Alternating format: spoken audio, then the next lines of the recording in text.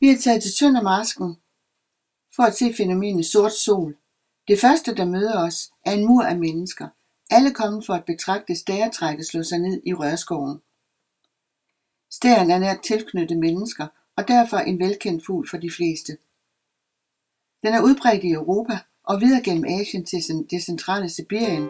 Desuden er arten indført i Nordamerika, Australien og New Zealand. I Danmark er stæren en meget almindelig og vidt udbredt art, som yngler ved bebyggelser eller i gamle løvskove. Stæren er en kortdistance trækfugl med vinterkvarter i England og langs den nordvesteuropæiske nordkyst.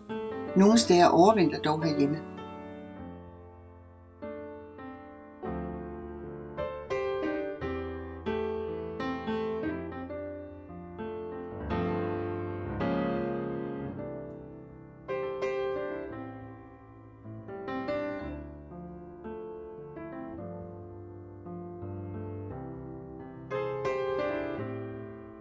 I træktiden besøges Danmark desuden af store mængder skandinaviske stære.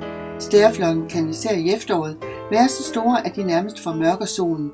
Deraf navnet sort sol. Op mod 500.000 fugle er ikke ualmindeligt at jagtage på én gang om efteråret i Tøndemarsken. Se den lille stær.